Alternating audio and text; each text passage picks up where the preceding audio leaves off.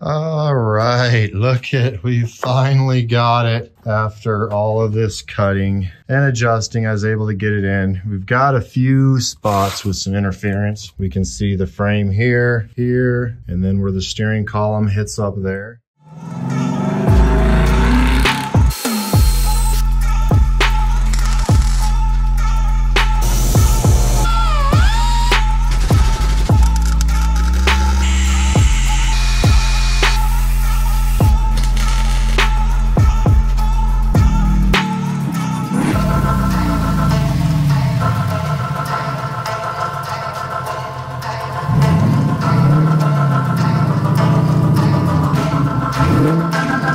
What is up, fellas? Welcome back to the garage where today we are going to be digging back into the 94 GMC OBS truck build. So just to review, if you guys haven't seen any of these videos, we've got all this stuff on with some previous videos, but what have we done so far? We have taken this single cab short bed K1500, which is a four wheel drive or was, we're converting it to all wheel drive. So we added a front Denali differential, made some custom mounts to make that work. We've converted the transfer case to an NV149, which is an all-time, all mechanical transfer case that pulls a lot of the electronics out of it. We've converted the rear axle to a independent rear suspension with coilovers. We've converted the front suspension to some custom upper A-arms with some kryptonite ball joints and heim joints for adjustability where we can get camber and things like that. And we've put a big brake package on it from a modern full-size truck and we've converted the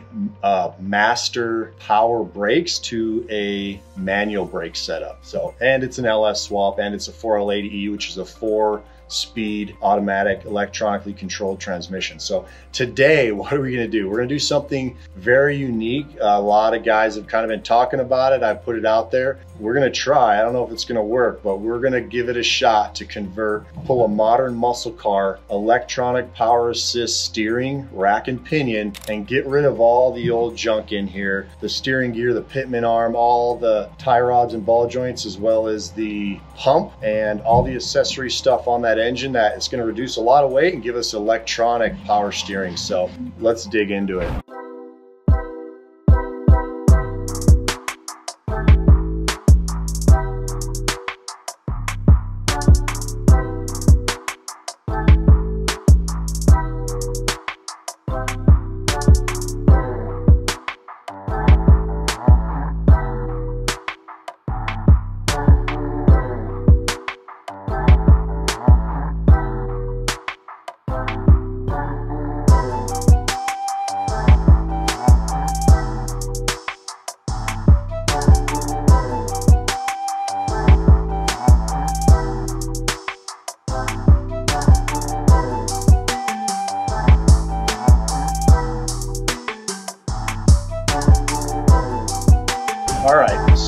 Things first, why would I want to pull a modern muscle car electric rack and put it in this truck? For, for starters, a rack and pinion is just a lot tighter, better steering setup in general. We're turning this thing into a street truck. So it's gonna get rid of a lot of the joints and connection points and not to mention weight and complexity of the steering gear is gonna get pulled out. The pitman arm, our idler arm here, our track bar, drag link, all this stuff that is tied into this front steering, we're gonna try to get rid of. And then we're gonna drop this front electronic power assist steering in the front end. Now, we can talk about where we're getting it. I like to take modern muscle car parts that are factory OEM and put them in old vehicles, old muscle trucks, old cars. Their factory OEM stuff is generally really well engineered and a lot cheaper than aftermarket. So everything I'm doing is on a budget, even though it can get a little pricey, I can get stuff very reasonable prices if I just use a little bit of engineering, if you want to call it that, and uh, make it work for this. So there's a couple factors we got to consider on if we can even make this electric rack and pinion steering work. One is clearances and can we make it fit? The other is a little bit of the steering geometry where we need to make sure it doesn't have a bunch of bump steer, which we're going to talk about that too. First things first is let me show you guys the rack we're going to be dealing with. And I got it out of a junkyard. Um, we'll go over exactly what it is, but we need to make sure this thing works first. So let's get into it. So here's the rack. It's a 2020 Mustang GT modern muscle car rack electronics called an EPAS, so electronic power assist rack. Electronic power assist steering is the EPAS. Still mechanical connection points in the system with this steering column is going to run into here, but then it's full electric at that point. So I mean there there are full electronic steering systems I believe like Tesla's are all just drive-by wire which are like sensors and servos and things sending communications Bluetooth or wirelessly. That would scare me a little bit. I probably would not be doing that on the type of stuff I'm doing. This is does have mechanical connections meaning if we have a failure with the electronics, I'm still going to have steering. So that gives us a little bit of peace of mind. So I'm not doing something really stupid, just, you know, maybe a little stupid. So lots of benefits to this, but we need to make sure this thing works. So I got this out of a junkyard uh, for super cheap. Even getting them, even getting these units out of, you know, eBay or other classifieds or a pick apart, they're very economical, but I really want to give this a shot. It looks like size wise, we're going to make this fit and we can, we're going to get into that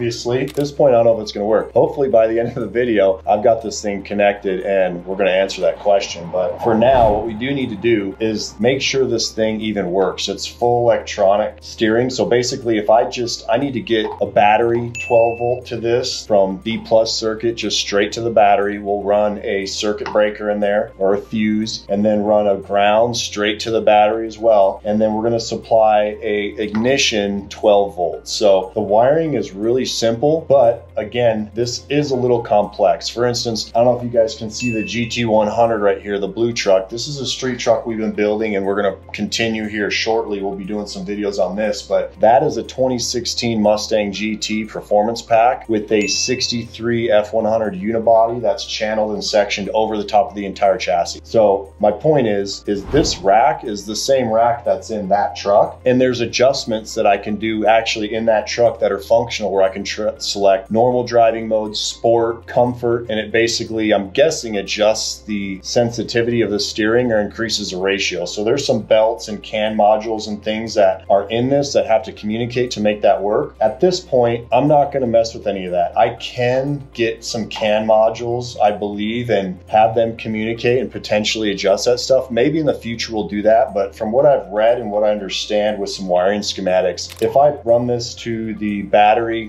ground negative and then running a 12 volt accessory to it, it bypasses the CAN module and it'll just go back to like auto mode where whatever the default setting is, we're to have steering. I just want to have the adjustability with the different modes, which for now is good. So we need to test that theory and see if that works. So I did get some factory connection.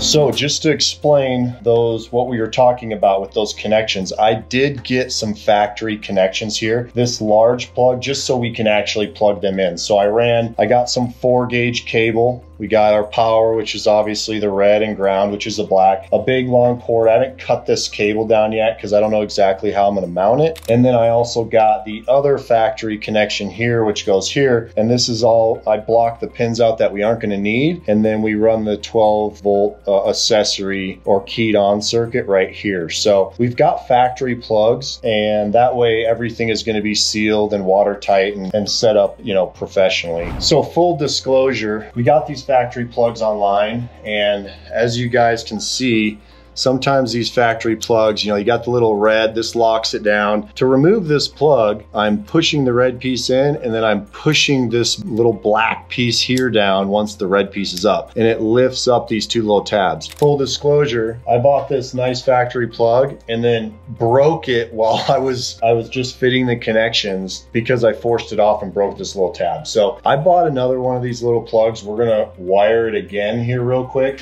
There's a company out there, I have no affiliation with them, Um, but they do sell these factory plugs here and they're nice little kits. It's called Range Industries, so check them out. They do some cool different things for um, a lot of Mustang different parts, modern muscle car stuff, but it gives us the connections, the actual factory connections here with all the inserts and everything. So I got another one of these little guys. We're gonna repin this, wired into our, um, I believe this is probably a 16 gauge wire, maybe a 14, and then make these connections. We'll go pull a battery and see first of all, does our rack work? So let's uh, let's get this pinned up and then give it a shot. Cross your fingers.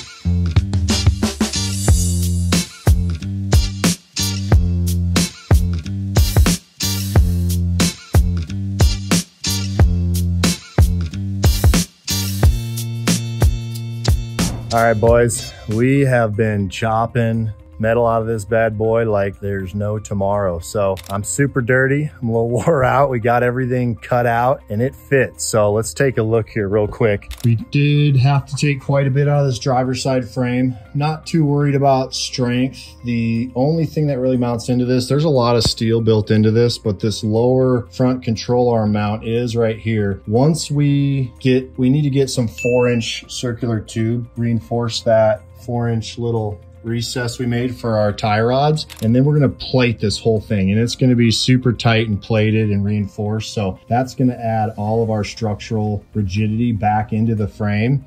Um, and it doesn't do a whole bunch other than for just that lower control arm mount is off the front here. So that is good. We know this thing fits though, which was the what if. We know we got it electrically powered up. Everything works. We drilled a hole for the steering column to fit. We'll have to make some custom stuff to get that going. But this bad boy fits. We're just gonna have to build a bracket now off these front bosses. And I'm gonna make the bracket removable. We're gonna try to have it bolt in and out for obvious reasons so we can get this thing out in and out for maintenance. But we do have some nice structural supports here where the idler arm was and then where the original steering gear was here. So we'll build some plates and then maybe run some DOM tubing to some other plates and get that in and out where we can remove it. I think that's gonna be it for this episode. We gotta get some more steel. We gotta get cleaned up. I need to get cleaned up because I'm a mess, but I'm super excited. This is gonna work. It's gonna be pretty sick. And uh, you guys have any questions or comments, hit me up below, let me know. But look at all this weight reduction. Oh, so much junk metal gets to go in the garbage. So that was a bit of a pain in the butt, but let's get everything cleaned up